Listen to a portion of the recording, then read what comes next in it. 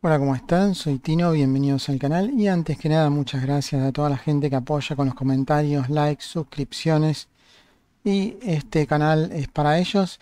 Y bueno, quiero compartirles un nuevo truco que aprendí porque las cosas han cambiado con los últimos patches. Yo cuando jugaba al Hearts of Iron hace como un tiempo, un año o dos, simplemente conquistaba países, conquistaba, conquistaba y nunca tenía ningún problema, pero desde el último patch noté que al conquistar un país, eh, por ejemplo como, como Italia, conquistaba Etiopía y tenía un gasto enorme en armamento, en hombres ocupando, o sea, era muy difícil por el tema de la resistencia. Bueno, eso por suerte tiene una solución y es con la agencia de inteligencia.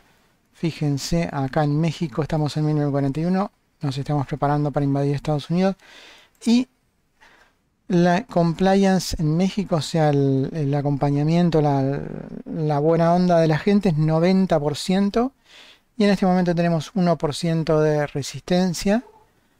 Por lo tanto hay como bajas mínimas, esto va a subir un poquitito hasta 7 porque todavía hay gobierno en exilio. Pero con 90% significa que nos vamos a cliquear en acá en los detalles del gobierno de México y fíjense, nos dan 93% de sus fábricas, 88% de sus productos y nos brindan 432.000 hombres y solamente necesitamos 28.000 para ocupar todo México.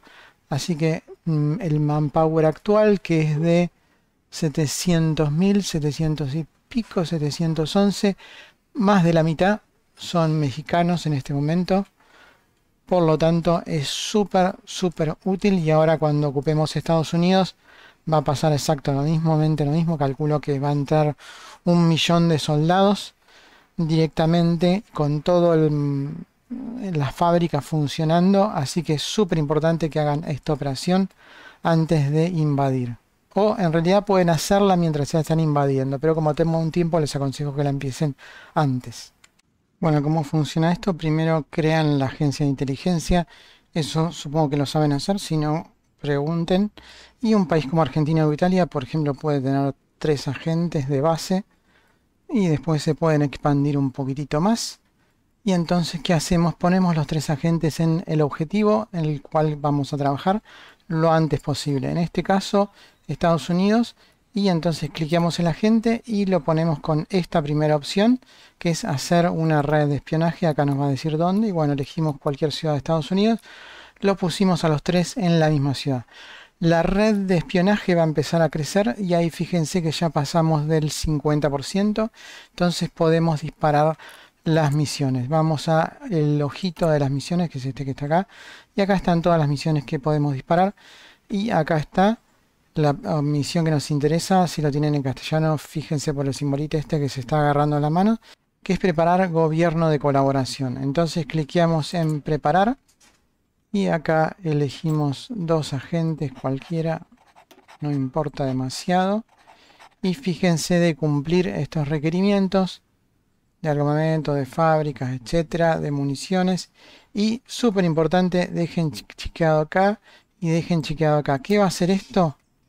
Que se dispara automáticamente, porque si no va a empezar a prepararse y cuando esté preparado ustedes ni se van a enterar, me pasó eso con Brasil y cuando le di a preparar, a ejecutar, ya habían pasado seis meses, o sea, es una pérdida de tiempo enorme y después lo mismo, este otro botón, Commence when ready, es comenzar cuando esté listo. Entonces cliquean acá y sobre que esté listo se ejecuta lo más antes posible. Y este otro es repetir una vez completado, que esto también es súper importante, así inmediatamente se ejecuta una vez y ya se ejecuta dos veces. Tienen que ejecutarla dos veces por país, cada vez le va a dar 45% y con la, la primera 45 y la segunda 90. Una vez que ya están ejecutadas las dos, ya el país queda y ahí queda latente el gobierno de colaboración y una vez que lo conquistan, ya como, como pasó con México, automáticamente pasan al estado este, está recién conquistado México 1941 y pasa con un compliance de 90%. Espero que les sirva